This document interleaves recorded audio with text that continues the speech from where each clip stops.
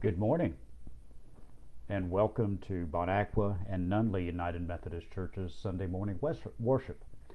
Uh, this is a little bit different this morning. I'm coming to you live from my home office because when I started to come to the church this morning, the roads were so that there were two wrecks uh, within about a mile and a half, so the police officer suggested that I turn around and go home, which I did. Um, I hope that you all got the message, and I hope that uh, you are safe and that you are warm and uh, uh, that you will enjoy our service this morning. Uh, just a couple of announcements before we get started. Um, we were to have a council meeting today. Obviously, that will be canceled. We will have our Ash Wednesday service this coming Wednesday, uh, weather permitting starting at 6 o'clock at Aqua, where we will do a, a, brief worship and then we'll do an imposition of ashes and celebrate Holy Communion. Uh, then on Monday, the 22nd at 10, uh, 10.30 at Bon Aqua, we'll begin our Lent Bible study. Uh, that will be on Mondays at Bon Aqua at 10.30 and then on Wednesdays at Nunley at 6 o'clock.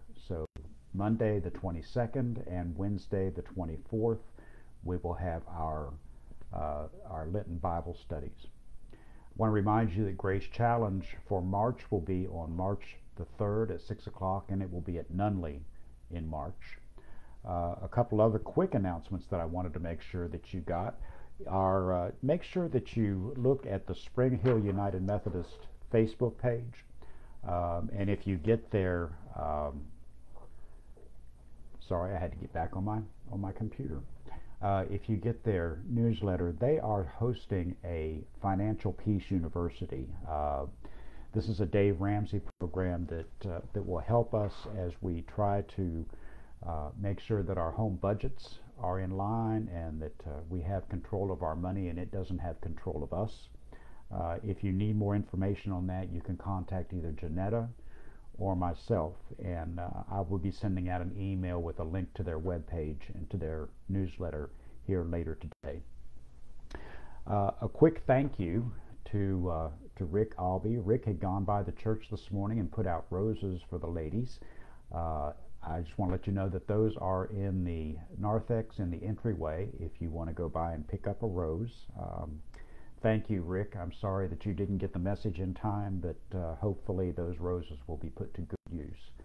And with that, I do want to wish you all a very happy Valentine Day.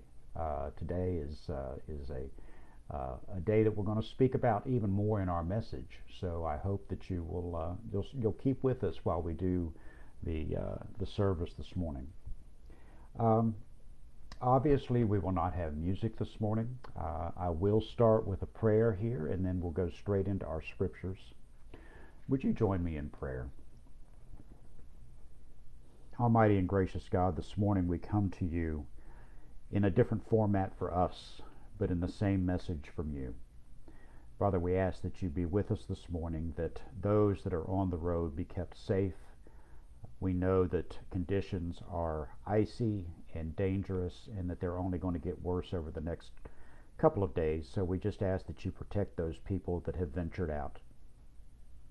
Be with us as we go forward in this service.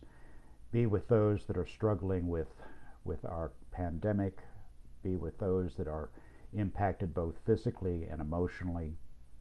We know that COVID stress has has reached most of us, and we just ask that you help us as we hopefully come toward the end of this isolation period and the, the issues that we're all facing. Be with all of those that are suffering.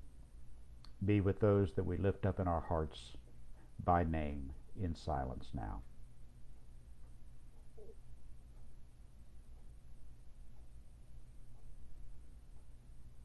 Father God, you've heard our prayers. You've heard our pleas. You've heard our thanks. And now we ask that you make your presence known as we worship virtually and as we go forward with this service this morning. We pray these things in the name of your Son, Jesus Christ. Amen. I want to start this morning with our scripture lessons. Our first scripture comes from the Old Testament, uh, from the book of Psalm. And I'll be reading from chapter 136, verses 1 through 9 and 23 through 26. oh, give thanks to the Lord, for he is good, for his steadfast love endures forever. Oh, give thanks to the God of gods, for his steadfast love endures forever. Give thanks to the Lord of lords, for his steadfast love endures forever. Who alone does great wonders, for his steadfast love endures forever.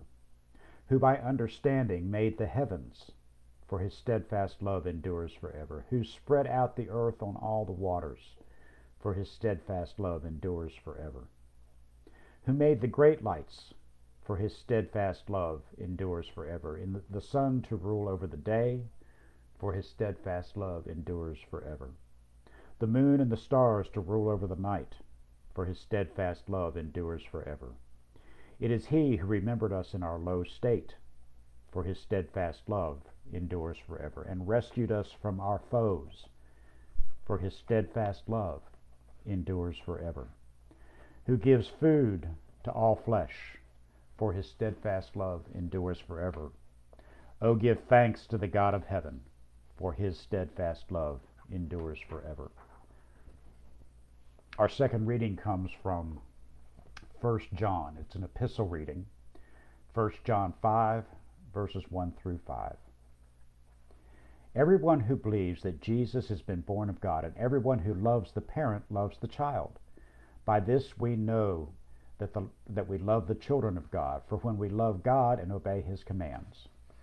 For the love of God is this, that we obey his commands, and his commandments are not burdensome, for whatever is born of God conquers the world. And this is the victory that conquers the world, our faith. Who is it that conquers the world but the one who believes that Jesus is the Son of God? And our final reading is from the Gospel of Matthew, chapter 6, verses 25 through 33.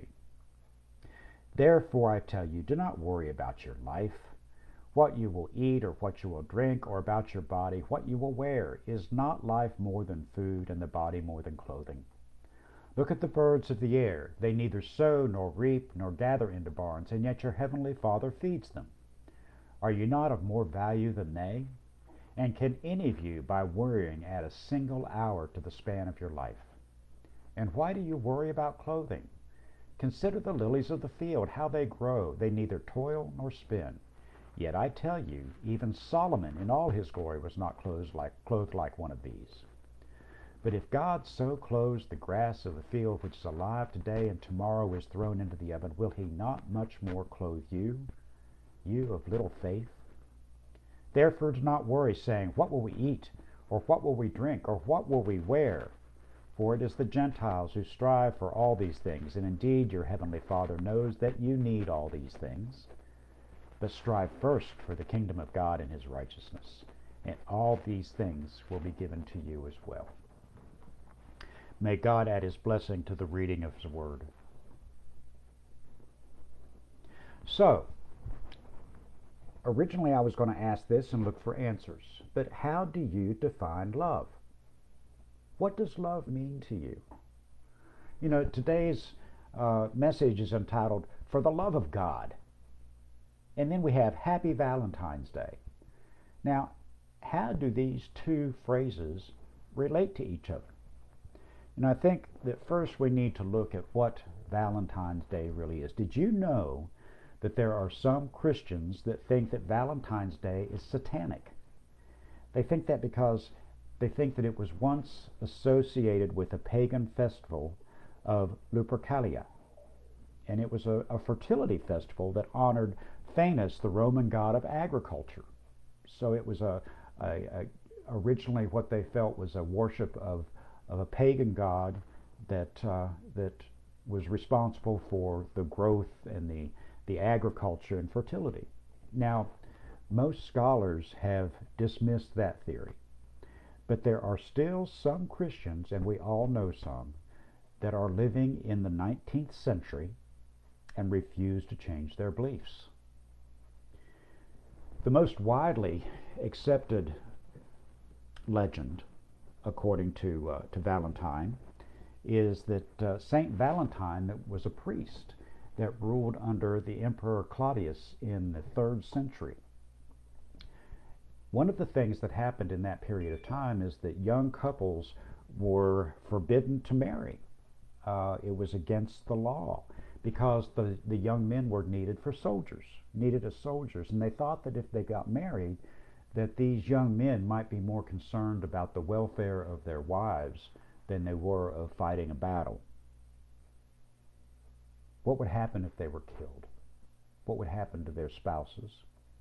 Now, Valentine, being a priest, secretly uh, performed marriages for these young couples. Uh, and that was, that was completely against the edict that Emperor Claudius had given. So Valentine was arrested. But you see, Claudius liked him. That is, until Valentine tried to convert him to Christianity. Now, prior to all of this, Valentine had converted and befriended a judge named Asterius. Now, I'm getting into a lot of, of history here, but it's important. Asterius had a daughter that was blind, and he had asked uh, Valentine, being a priest, to, uh, to heal his daughter of the blindness. And he did, and in that process, Valentine and Asterius' daughter fell in love. And as a result of all of this, Asterius and all of his household, all of his servants, all of his family, were baptized in the Christian faith. And let's go back to where we were talking about uh, Claudius having Valentine arrested and then turning against him once he tried to convert him to Christianity. Claudius agreed that if, if uh, Valentine would only renounce his faith, that he would let him go. But Valentine refused. His faith was so strong and his trust and belief in the love of God was so strong that he refused and he was sentenced to a threefold execution. First, he was to be beaten, then, he was to be stoned, and finally, he was to be beheaded.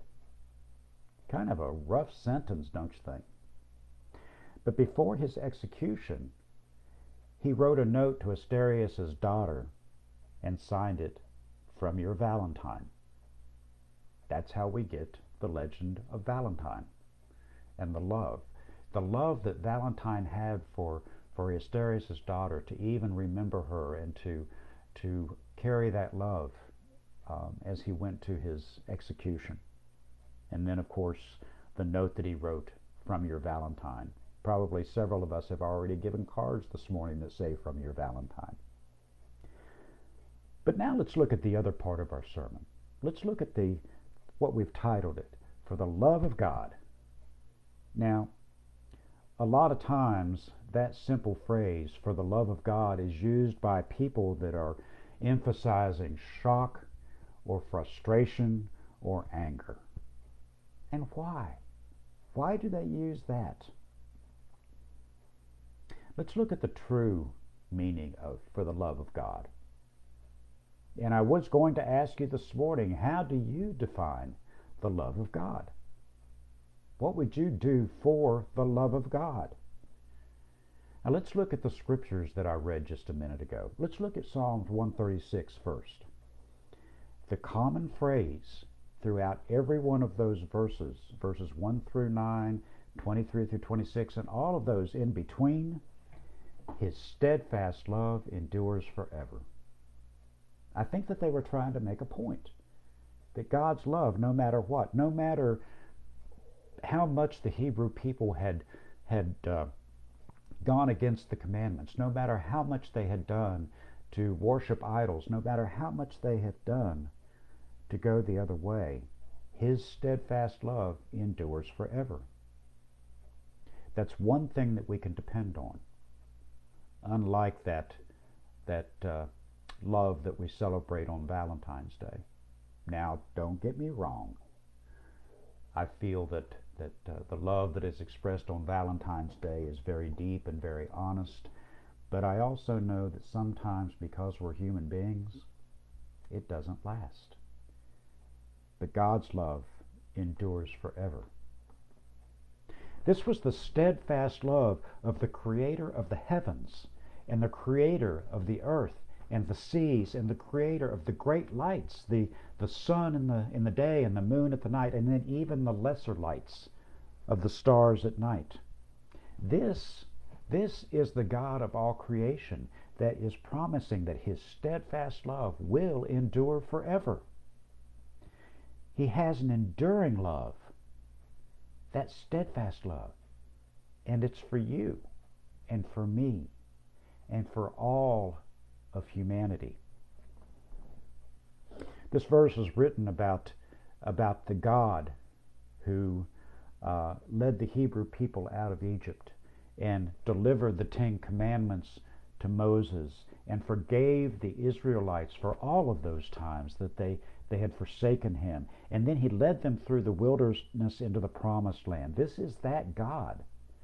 And I want you to, to notice that, that even in the beginning, the verses from Psalms, it says, This is the God above all gods, whose steadfast love endures forever. Because a lot of these people were still worshiping lesser gods. And what that was trying to say is this is the God, the God of creation. This is the God of the Old Testament. And so often we, we, we label the God of the Old Testament as a vengeful and a wrath filled God. But that's not the case. That's not the case. God's wrath only became obvious because of disobedience and because of the lack of the love being returned. Now let's jump ahead to uh, to 1 John chapter 5, the epistle that we read. In this epistle, in this in these verses, uh, they're comparing God to the parent, the parent of Jesus Christ. And the way the scripture reads is as we love Christ as he loved us, that love is manifested and it it uh, extends and encompasses the love of God. And even when our love fails, His love remains steadfast. And in verse 3 of chapter 5, it says, For the love of God is this, that we obey His commandments. Doesn't that sound pretty simple? Doesn't that sound pretty easy for us to understand? For the love of God means according to the Scripture. For the love of God means that his steadfast love does endure forever.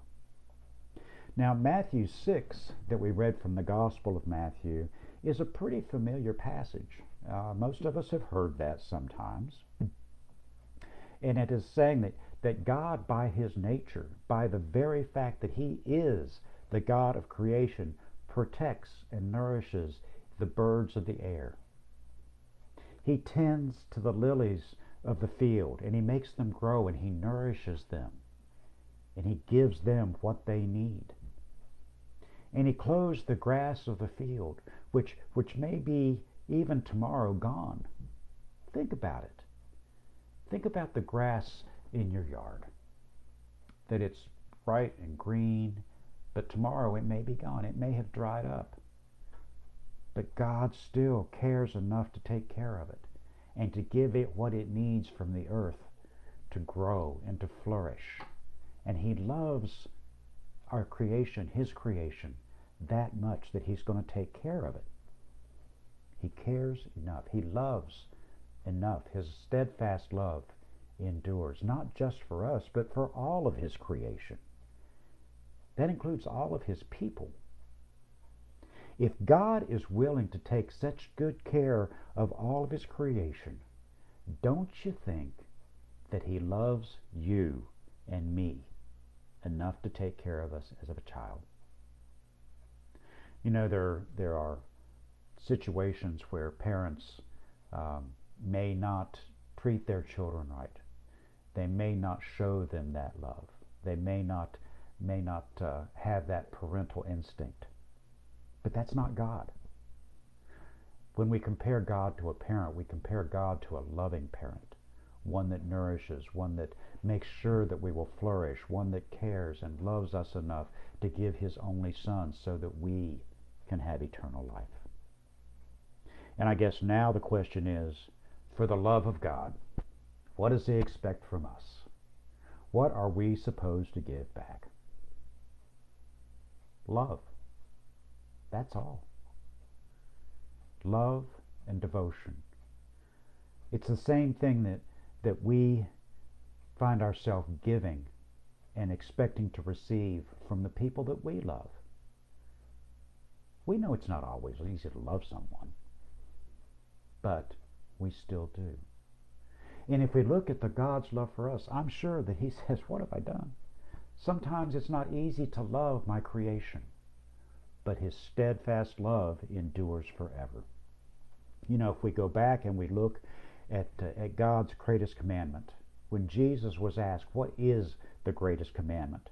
He says, It's to love the Lord your God with all your heart and your mind and your soul. That's all.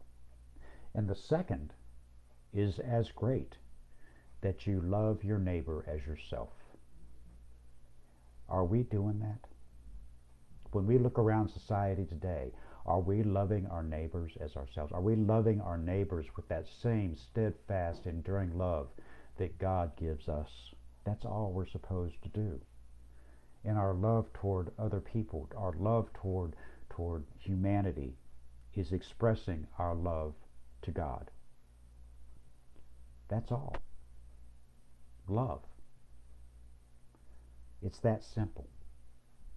But how do we do it? Well, for those of us that have gotten married, we we make a vow. We stand in front of, of a minister or a judge or a justice of the peace, and we have witnesses, and we have our best man and our bridesmaids and a maid of honor and, and all of our friends and family. And we make vows in front of God that we will love, honor, and cherish that person that we're making this commitment to. Normally today, we would have celebrated Holy Communion. And that's a way that we can that we can show our love for God. When we celebrate Holy Communion, we acknowledge God's love for us. It's not what we do for God. It's what God does in us. It's a love that He has that is so deep that He did give His only Son for us. It's a love that is so deep that He promises, just like in Matthew 6, that He's going to take care of us. It's a love that goes beyond our temporary, uh, small period of time that we spend on this earth in human existence, our spirits having a, a human experience. And all we have to do is to return that love honestly, that we confess that love publicly, that we accept it not only for ourselves, but as we allow that to build in us, that it overflows from us and it goes into the community, it goes to other people, and we can show God's love. His steadfast love endures forever. We affirm our vows when we do communion. We affirm our vows that we love God and that we are doing our best to live by His commandments like the Scriptures tell us to. You know, I hope on this Valentine's Day that you not only have time to spend with your loved ones and that special person in your life, but I hope that you'll take time to spend just a few minutes with God. Because even though some of those human loves may fail, some of those human loves may, may uh, waver, God's steadfast love endures forever. In the name of the Father, the Son, and the Holy Spirit. Amen. Next week, I hope that we'll be able to gather. I hope that we'll be able to celebrate communion. We will also be consecrating the bags that we have we are putting together for Kids for Kids. We've received all the bags. We have many of the supplies, and we, we hope to begin distribution of those here in the next week or two. I know uh, Lori in our Lori and Ginger in Nunley are, are working to put some of those together, so we'll have them ready. Uh, and I hope you'll join us as we consecrate those, as we hopefully celebrate Holy Communion, and as we begin the season of Lent. Don't forget that we will have our Lent service on Wednesday evening, weather permitting. We'll put a note out on that. And I hope that you will join us. I hope that you will allow God to work in you remember that what we do is not something we do for God, but it is something that we are asking Him to do through us, to take charge of our lives. Would you pray with me? Almighty and gracious God, we thank you for this opportunity. We thank you for the love, the steadfast love that endures forever that you give us. And we ask that you help us as we try to allow that love to grow in us and to to become part of us so that it overflows and we can share that and, and take it into our community and into our neighborhoods and into our families. Father, we ask that you be with those that are traveling. We know that this is a dangerous situation and it's probably going to get worse before it gets better. And we just ask that you allow us to have some common sense to stay in when we can and to just spend time. Just spend time not worrying, not rushing, not not thinking about what we need to do, but thinking about what we can do. In your name we pray. Amen. Thank you for joining us this morning. I hope that you are safe. I hope that you are warm. And I hope to see you again soon. Have a great week and God bless.